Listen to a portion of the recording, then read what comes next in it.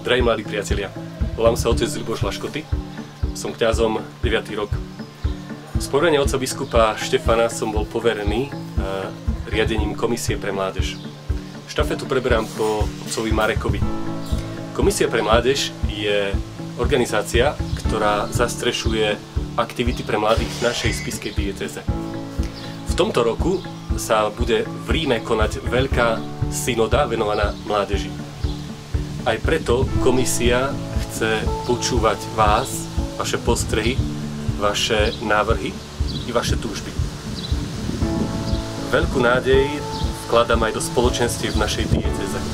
Verím, že budú pribúdať e, aj nové spoločenstva.